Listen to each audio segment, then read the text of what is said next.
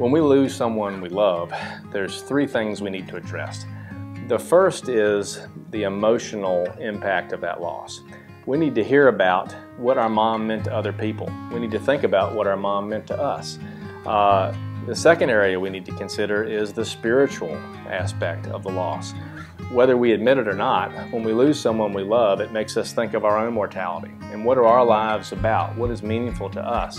So it's important when a death has occurred that families consider putting that death in a spiritual context. What does our faith tradition tell us about death and what happens after death? And how do we live good lives?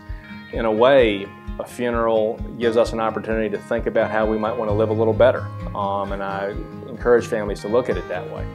Uh, the third area uh, that I ask families to think about is really the psychological aspect of grief and how we can move through grief. Um, by having some of the rituals that have been around in every culture on the planet forever, such as viewing the body, receiving friends, having some type of service, whether a funeral home is involved or not, those steps in the grief process really help us heal.